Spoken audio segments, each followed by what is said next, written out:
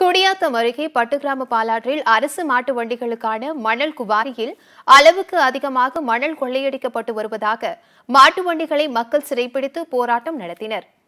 இந்த மணல் குவாரியில் குறிப்பிட்ட அளவை விட அதிகமான பள்ளம் தோண்டி மணல் கொள்ளையடிக்கப்பட்டு வருவதாகவும் மேலும் மாட்டு வண்டிகள் அதிகாரிகளின் துணையோடு மணல் கொள்ளையடித்து வருகின்றனர். இவர்கள் பாலாற்றின் அருகே உள்ள சுடுகாட்டிலும் மணல் தோண்டி எடுப்பதால் மனித எலும்புகள் காட்சியளிக்கிறது. ஆனால் அதிகாரிகள் இதன் மீது நடவடிக்கை எடுக்காமல் தொடர்ந்து அலட்சியத்தில் இருந்து வருவதால் ஆத்திரமடைந்த கிராம மக்கள் பட்டு கிராம பாலாற்றில் மணல் மாட்டு வண்டிகளை சிறைப்பிடித்து போராட்டத்தில் ஈடுபட்டனர்.